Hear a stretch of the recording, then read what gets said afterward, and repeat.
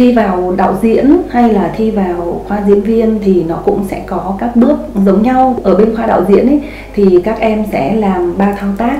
Thứ nhất là các em sẽ có một cái uh, tạm gọi như là cái giới thiệu cái portfolio giới thiệu về bản thân mình.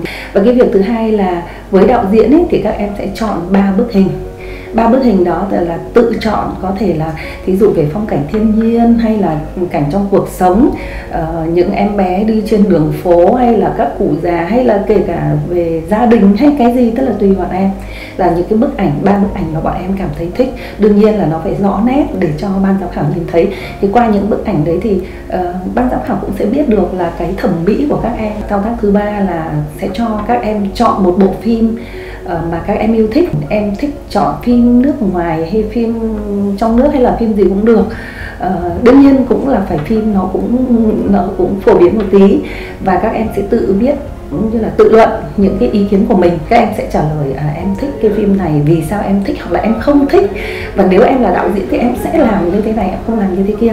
Thì đó có thể chúng ta gọi là đề mở. Và chính vì đề mở thì để cho bọn em có thể được viết một cách thoải mái nhất những cái ý nghĩ trình bày những cái ý kiến của mình. Với diễn viên thì cũng gần giống như là các cái yêu cầu của bên đạo diễn như là nãy giờ cô đã trình bày.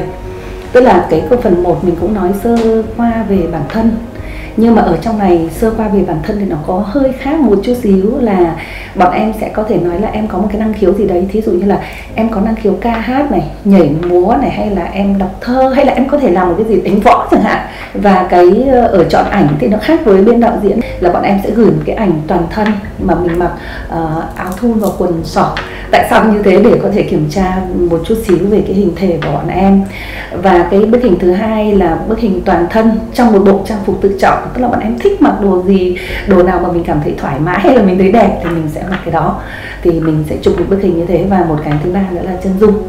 Thì như vậy qua cái ba cái tấm hình của bọn em thì ban giám khảo phần nào cũng có thể là có được một cái hình dung về hình thức của các em. Và cái thứ ba nữa là các em sẽ viết một cái bài cảm nhận của mình về một bộ phim mình yêu thích. Có nghĩa là bọn em được tự chọn để mở. Cho nên qua cái cách viết cảm nhận thích hay không thích bộ phim này vì sao thích vì sao không thích bọn em sẽ nói theo cách của mình thôi chứ mình chưa học. Cho nên là bọn em chưa cần phải phân tích thật là uh, bài bản hàn lâm đúng không? Muốn như thế thì sau này vào học rồi thì lúc đấy viết bài nó mới kiểu chuyên nghiệp. Còn bây giờ nó hoàn toàn là một cái cảm nhận rất tự nhiên của các em. Thích không thích rất là.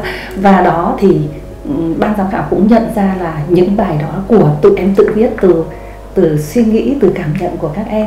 Các em cũng chẳng phải áp lực vì không phải nhìn thấy thầy cô trực tiếp đúng không? Thế là chỉ qua màn hình thì các em có thể trả lời uh, những cái câu hỏi mà cô nghĩ là bọn em sẽ rất tự tin bởi vì nó liên quan tới cái phần các em giới thiệu về mình ở trong cái portfolio mà các em đã gửi. Ví dụ ở bên đạo diễn thì sẽ hỏi về um, nghệ thuật điện ảnh hỏi về nghệ thuật sân khấu và những cái gì trong cuộc sống thôi những cái điều mà các em quan tâm.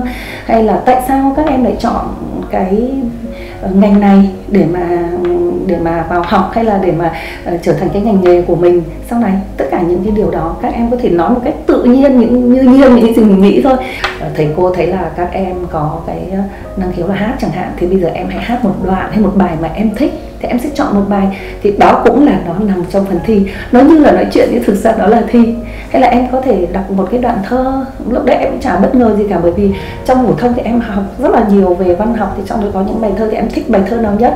Hoặc là một cái đoạn thơ thôi. Thì qua cái đọc ban giám khảo sẽ nhận ra cái sự biểu cảm của em.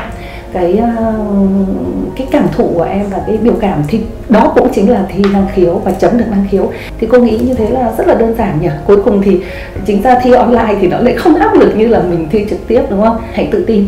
Và tự tin là một trong những tư chất của người làm nghệ thuật.